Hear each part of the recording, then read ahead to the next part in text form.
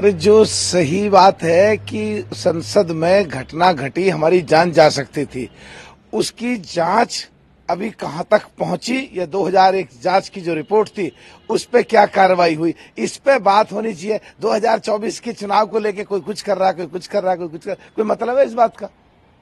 नहीं, देखिए देखिए, बात यह है कि दो ढाई साल कोरोना में निकल गए, और अब चार सेशन पिछले बंद में निकल गए।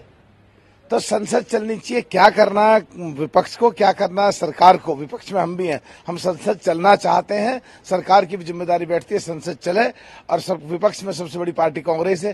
कांग्रेस की भी ज़िम्मेदारी बैठती है कि संसद चले।